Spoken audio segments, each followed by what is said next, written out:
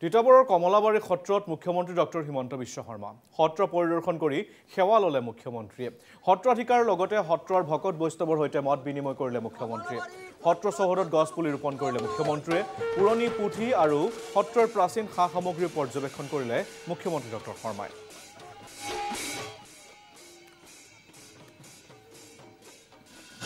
তিতাবৰত অৱস্থিত কমলাবাৰী মূল সত্ৰত অহাৰ মোৰ আজি সৌভাগ্য হ'ল।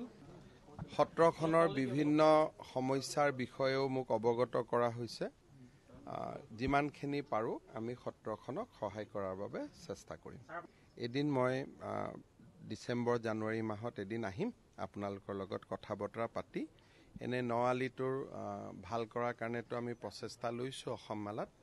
বৰহলাৰ পৰা একেবাৰে যোৰহাটলৈকে সুন্দৰ কৰি দিয়াৰ বাবে। তাৰ উপৰিও তিতাবৰৰ যিবিলাক সমস্যা আছে মই নিজে আহিম আপোনালোকেও মোক জনাব আৰু মই যি পাৰোঁ নিশ্চয় সহায় দেউতা ভালে আছে? সত্ৰৰ কণ কণ ভকতবৃন্দৰ সৈতেও মুখ্যমন্ত্ৰীৰ মত বিনিময়। একেলগে উঠিলে ফটো। কণমানি ভকতক চাইকেল দিয়াৰো প্ৰতিশ্ৰুতি মুখ্যমন্ত্ৰীৰ। ৰাতি? আৰু নাম প্ৰসংগ কেতিয়া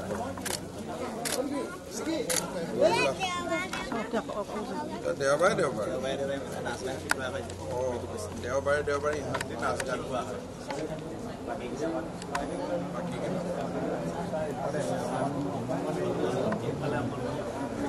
হ'ব পিছত কমলাবাৰী সত্ৰত মুখ্যমন্ত্ৰী ডক্টৰ হিমন্ত বিশ্ব শৰ্মাৰ পদাৰ্পণৰ বাবে news লাইভৰ chief managing editor Syed Zarir হুছেইনক কৃতজ্ঞতা জনালে সত্ৰৰ ভকত সোণাৰাম শৰ্মাই। ছৈয়দ জাৰিৰ হুছেইনে সত্ৰখনৰ প্ৰকৃত ছবি দাঙি ধৰাৰ বাবে পঁচিছ বছৰৰ পাছত সত্ৰত মুখ্যমন্ত্ৰী ডক্টৰ হিমন্ত বিশ্ব শৰ্মাই ভৰি দিলে বুলি মন্তব্য বুঢ়া ভকতৰ। বহুত দিন বিৰতি হ'ল কোনো নাহিল। কোনো নাহিল। তা নহাৰ পাছত আজি আমি মুখ্যমন্ত্ৰীক বহুদিনৰ মূৰত বিৰতিৰ পাছত প্ৰায় পঁচিছ বছৰ বিৰতিৰ পাছত মুখ্যমন্ত্ৰীজনক পাই মানে কাল ধুমুহা এটা ৰাতি যোৱাৰ পাছত দিন এটা সুন্দৰ ফৰকাল দিন এটা অহা যেন লাগিল।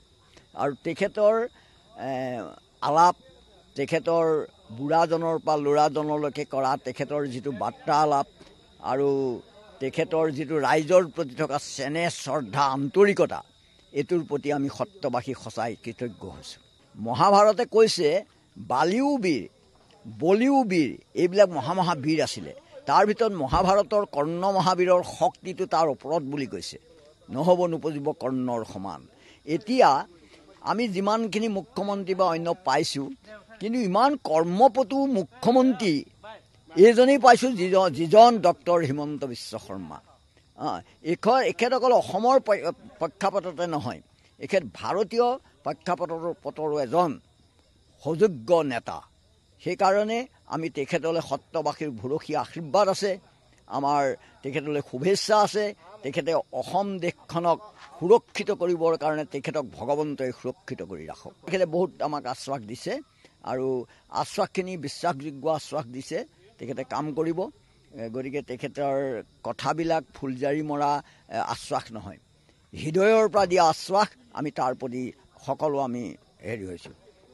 বিশেষ মানে আজিৰ দিনটো আৰু আমাৰ কাৰণে ঐতিহাসিক দিন আৰু। আৰু বিশেষকৈ মই এই মুহূৰ্তত এজন মানুহৰ নাম ল'ব লাগিব সেইজন হ'ল জাৰিৰ হুছেইন।